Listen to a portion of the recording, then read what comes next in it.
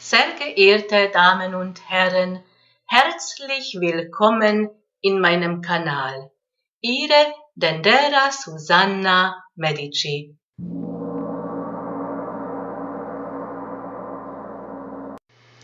Wie beeinflusst die kosmische Energie unserem heutigen Tag am 11. Januar 2018?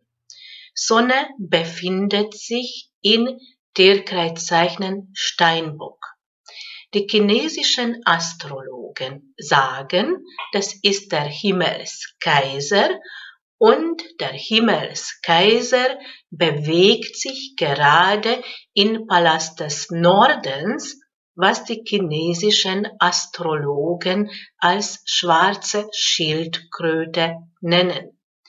Gegenüber von die Palast des Nordens befindet sich die Palast des Südens, was die chinesischen Astrologen als roter Vogel nennen und wird von Planet Mars beherrscht. Und diesem Palast des Südens bewegt sich gerade unserem Planet Erde in Tierkreiszeichen Krebs nach unserem westlichen Astrologie. Die chinesischen Astrologen sagen zum Mond, das ist die Himmelskaiserin und die Himmelskaiserin bewegt sich gerade in Palast des Ostens, was die chinesischen Astrologen als blaue Drache nennen. Mond hat eine abnehmende Mondphase und befindet sich gerade in Tierkreiszeichen Skorpion. Eine abnehmende Mondphase eignet sich dafür, etwas starten, was abnehmen soll, loslassen, von etwas trennen oder etwas bereinigen. Heute ist eine bestimmte Konstellation im Himmel. Mond hat eine Umlaufbahn und kreist um die Erde. Und diese Umlaufbahn des Mondes verläuft nicht parallel zu die Ekliptik, sondern es in der Abneigung da. Ekliptik ist nichts anderes als die zwölf Tierkreiszeichen, die miteinander verbunden sind wie ein Gürtel. Das nennen wir als Ekliptik.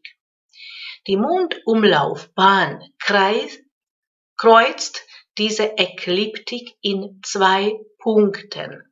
Einmal, wenn die Mondumlaufbahn von Süden nach Norden überquert und gegenüber, wenn von Norden nach Süden überquert. Es entsteht hier zwei Schnittpunkt im Himmel.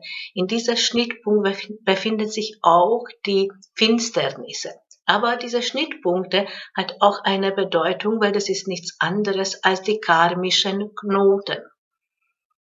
Und die karmischen Knoten ist einmal die aufsteigende Mondknoten, wenn die Mondumlaufbahn von Süden nach Norden überquert in diesem Ekliptik, was die aufsteigende Mondknoten ist. Und hier in diesem Punkt haben wir karmischen Lernaufgabe.